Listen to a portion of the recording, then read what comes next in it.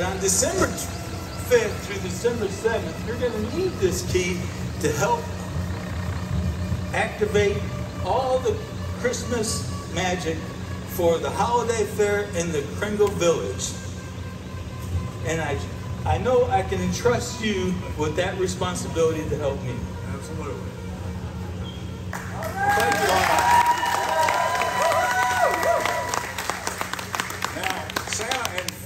Plus years, I've only given people keys to the city of Greenville. I have never, never had anyone give me a key to another city, much less the North Pole. So thank you very much for uh, so I brought, I brought a lot of my friends here to come along with me to North Pole. Certainly, we'll come up and, and pay you a visit, okay? All right, thank you, thank you.